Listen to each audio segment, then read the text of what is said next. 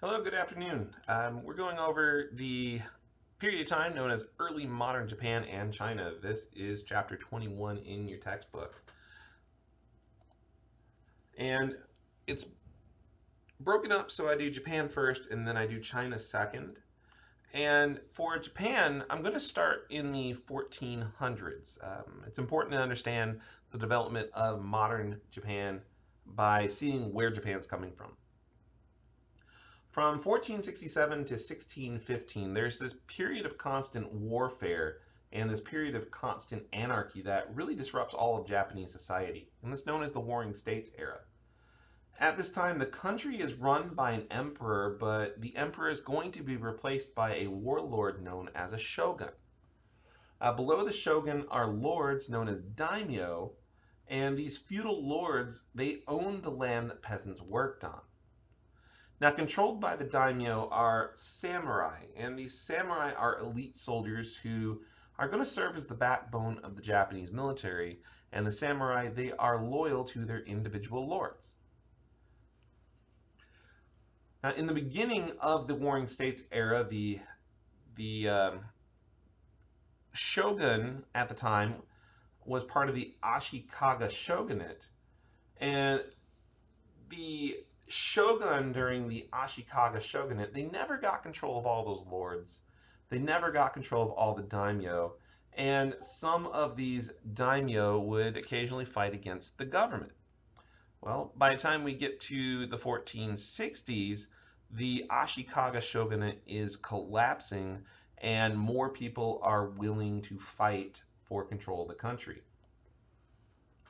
At the same time this is going on, there's increased trade with China and there's a greater desire for local autonomy.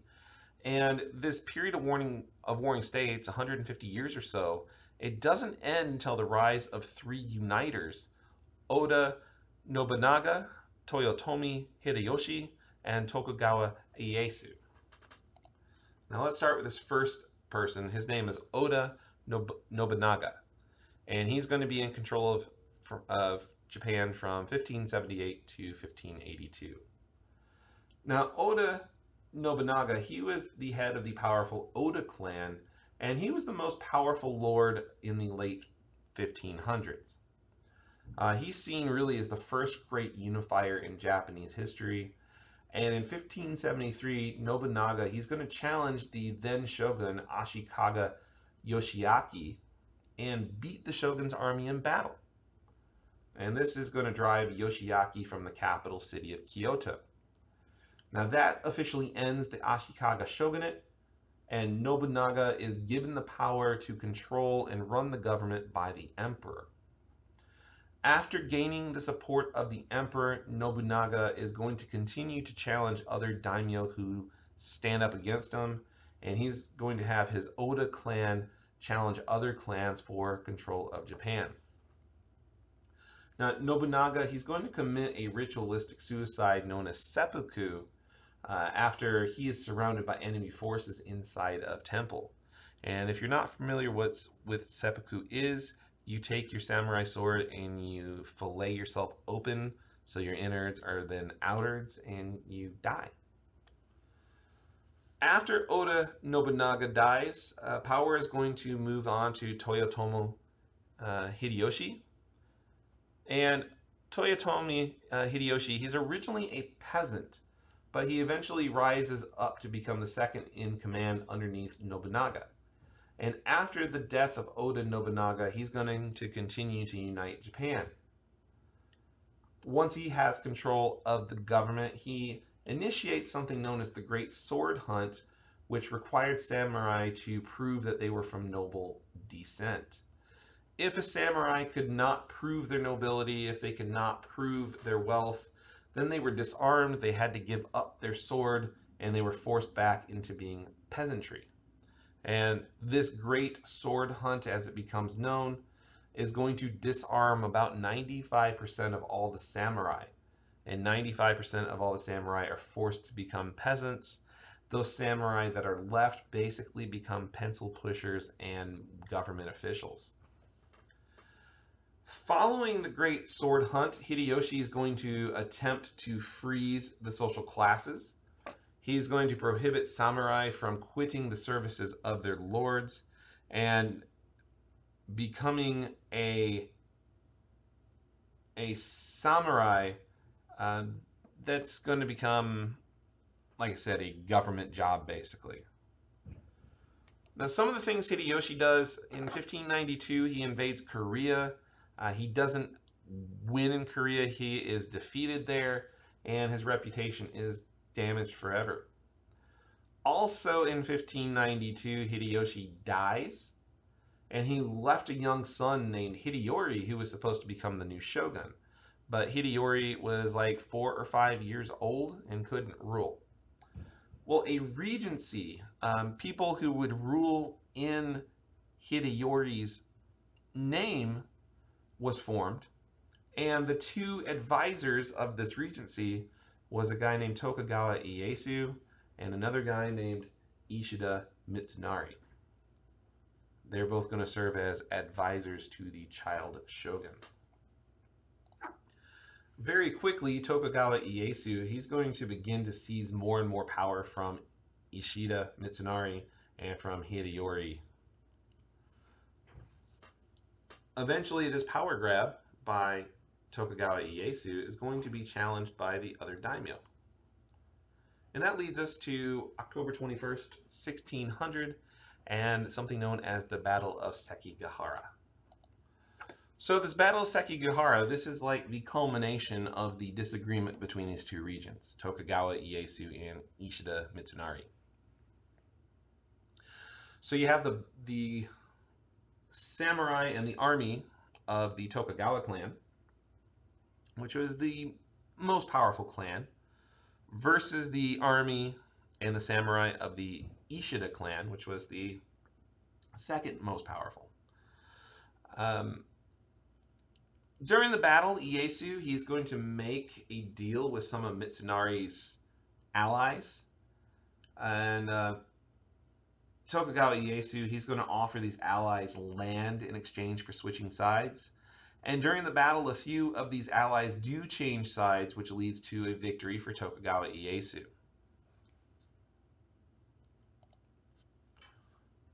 After the battle is won by Tokugawa Ieyasu, um, he's going to become the new shogun, and this becomes known as the Tokugawa era, which lasts all the way from 1603 all the way to 1868.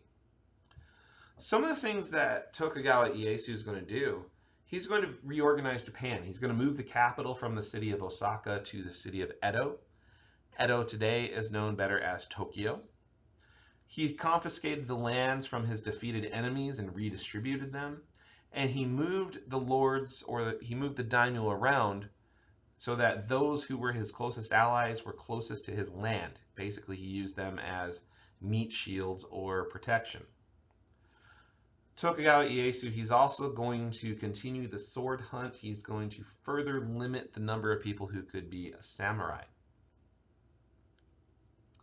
Social changes are going to happen. Uh, daimyo are only allowed to marry or repair their castles with permission of Tokugawa Ieyasu. The wives and children of these daimyo are required to live in Edo, and the daimyo themselves are required to live in Edo every other year. New laws are passed to control courts, temples, shrines, and the daimyo themselves, and many of these laws are based on loyalty and honor. A national policy of seclusion is adopted in 1630 by Tokugawa Ieyasu's son, and this policy of seclusion, it bans foreigners other than Chinese and Dutch from visiting Japan completely. And this policy of seclusion is going to be forcefully observed from 1860 all the way until 1854. The Tokugawa economy. Um, the Tokugawa period, it's this long period of peace and seclusion. Uh, there's not a lot happening, but there are problems that develop. Like by 1700, the economy, it's approached its limits because of population increases, and the people of Japan are forced to start using either contraception or infanticide, which was the purposeful killing of infants to control population increase. Uh, there was a strong internal market. Commerce was flowing throughout Japan, but very little industrialization. And without industrialization, uh, the Japanese economy was very limited.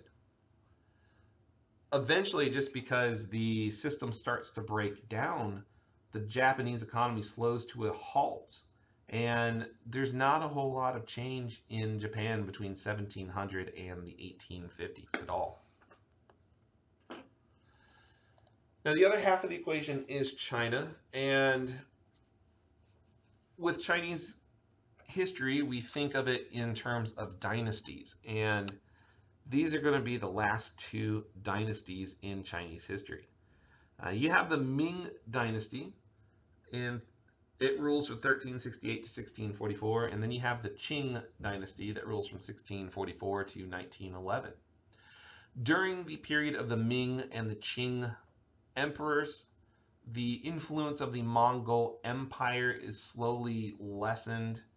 Uh, it's completely eradicated through government policies, and China becomes ruled by uh, Chinese culture, Chinese government, Chinese laws again. Um, the Chinese are going to conquer Taiwan. They're going to expand the influence into Central Asia. Uh, which is interesting because these earliest Ming emperors they believed in isolationism. Um, it was mostly keep to ourselves, and their economy was almost completely based on agriculture. But by the time we get to the mid 1600s, that's changing because there's more and more European influence there's a rise in population. The government policies start to relax because they have to keep up with all these changes. One of the biggest changes that happen are these private banks known as Shanxi banks that open throughout China. Uh, these are going to be banks owned by wealthy merchant families. They're used to facilitate trade throughout the area. Uh, they lend money and extend credit to people throughout China. And eventually these Shanxi banks, they get so big and so important that they spread to places like Singapore, Japan, and even Russia. Most of the growth that's going on in China is going to be in market towns, these intermediate sized towns that link the big cities to these small agricultural villages. Um, family structure is very much based on Confucian traditions. Women were expected to obey men, men knew their place in society, and everybody followed the rules. Women were physically restricted, and this idea and this practice known as foot binding became common. And if you've never looked up foot binding before, go ahead and take a second to do it. It's pretty gross. Education in China is extremely important because the only way to get a job in the government was to pass a civil service exam. So education was all about passing the civil service exam and the civil service exam was the way that you got higher up in Chinese society. Now, both the Ming and the, in the Qing dynasties, they have strong government, they have strong, competent emperors, the emperor allowed his administration to run the government. He focused mainly on cultural and religious things, and he was able to do that because these civil service exams gave only the best people government positions. Now, the way that the education and the civil service exams work together, uh, the education was based on the teachings of Confucius. Uh, you would have a candidate screened at a local office, then they would take a county exam. If the county civil service exam was passed, then they could become a member of the gentry, the, the middle class uh, gentlemen's club, and they would be eligible to take the provincial exam. Now, the provincial exam was given once every three years, so you had three years to study from, from one exam to the next. If you passed the provincial exam, then you could pass the metropolitan exam, which was also given only once every three years. So you have another three years to study. Beginning with the basic local test, going all the way up to the national metropolitan test, fewer than 90 people would pass all three tests and work in the government. China and Europe were connected together. Europeans first come to China in large numbers in the 1500s. Some of these Europeans come as missionaries, and the Jesuits, remember the stormtroopers of the Pope, are involved with this. There's a guy named Matteo Ricci uh, who masters the Chinese language and he shares the knowledge of Western math and science with the Chinese, while the Jesuits, uh, including Matteo Ricci, are going to compare the philosophies of Jesus to the philosophies of Confucius. And he's going to say, look, these two guys would have gotten along perfectly fine. It's okay to believe in one and the other at the same time. Um, the Jesuits are even holding Catholic services in the native Chinese language. Eventually, the missionaries complain about the Chinese language services and they complain about this practice known as ancestor worship. And the Pope is going to order the Jesuits to stop the Chinese language services and stop allowing ancestor worship to happen. When that occurs, the guy who was emperor at the time, Kangxi, orders an end to the preaching of Christianity in China, and China tries to get rid of Christianity. There were other Europeans allowed, it wasn't just the Jesuits. Uh, there were trading restrictions in China to keep the Europeans out of the interior. And these trading restrictions were known as the Canton system and the only city where Europeans could trade was the city of Canton. Any other trade within China by Europeans was considered illegal. And Europeans, specifically the British East India Trading Company, are going to trade for tea and they're going to trade for silk and they're going to give gold and silver to the Chinese merchants, which makes China fairly well financed. All right, that's it for the lectures. I want to pull up the syllabus schedule real quick, just so you can see where we are. This week, we're on chapter 21. You've got your discussion 7 and your chapter 21 quiz due on Tuesday the 4th. For the week after that, we talk about the American Revolution and we talk about the French Revolution. And on the 11th, your chapter 22 quiz, your discussion 8 will be due, and then your second reflection paper. For your second reflection paper, I want you to go ahead and start thinking about it now. You can use any of the documents in week five, six, seven, or 8. I don't want you going back any further than that. I don't want you going ahead. There's some good stuff in lessons 5, 6, 7, 8 that you can use, or weeks 5, 6, 7, 8 if you want to call it that. The rules for this reflection paper exactly the same as the first one. A paragraph of summary and then about a page to a page and a half double spaced on your thoughts, opinions, ideas of what you read. After that, and I'll send you out an email here in the next week or so, October 12th is the midterm exam. It will be proctored, meaning that you ha will have to use either the Respondus Lockdown browser or you'll have to come in person to a West Georgia Technical College location to one of our libraries to do the proctoring exam. Uh, if you're not familiar with Respondus, uh, you cannot use it on a Chromebook. It doesn't work very well on an Apple product, but it will work. Um, if you have a Chromebook, you may want to make plans to take it in the library. If you have an iMac or an or a um, Apple laptop, something like that, you may you can try it on Respondus. It may work, it may not. Um, basically, just telling you that you don't need to wait till the last minute to take your exam because if you find out you need to take it in one of our library locations, we're not open on the weekends. But I'll send you out an email with more information on that midterm next week. All right, until next time, any questions, send me an email. I like hearing from you. We'll talk to you later. Bye.